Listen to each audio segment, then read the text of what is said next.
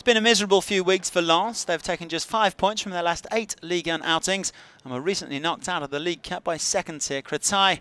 On Saturday, they hosted Bordeaux, whose coach Willy Sagnol sparked controversy this week with a number of comments about African footballers. The Girondins came into this one after a Cup and League double over Toulouse, and it was they who took the lead in the 24th minute after good work from Thomas Touré to set up Wahbi Khazri. And the Tunisian international sweeping home his fourth goal of the campaign.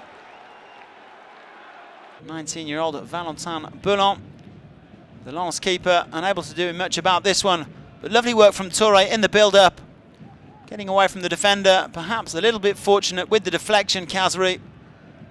But he made no mistake. Now Bordeaux taking the lead with just under 25 minutes gone. And from that point onwards, it was they who dictated the tempo in this game. As you can see here, coming forward at no great speed. No attempt to press the ball from the last defenders. And five minutes before half-time, it was 2-0. Cheick Diabate just taking this one round Belon and sweeping home for his fifth goal of the season so far. All too easy for Willy Sagnol's men. Khazri picking up the ball here.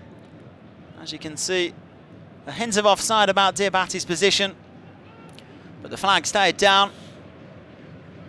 Malian with a cool finish and Khazri wrapping up an excellent first half with a goal and an assist.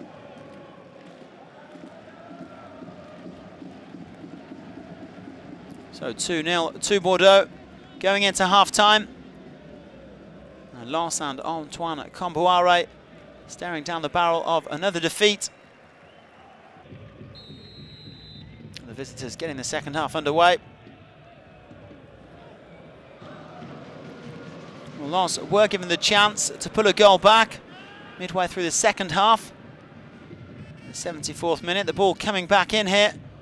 And they were awarded a controversial penalty when Marc Planus and Pablo Chavarria went up for this ball together. referee Michael Desage deciding that it was a penalty, but as the replay shows, it was Planas who got his head to the ball first before Chavarria came charging in. That one should have been a corner. Either way, Yoann Touzghar with the opportunity to make it 2-1. And he did just that, even if Cedric Carrasso dived the right way. Touzghar with his third goal for Lens this season. He's now their leading goalscorer in Liga.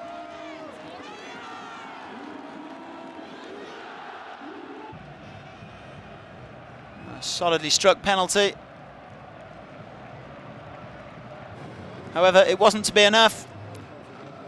So Bordeaux claiming another win, going temporarily third.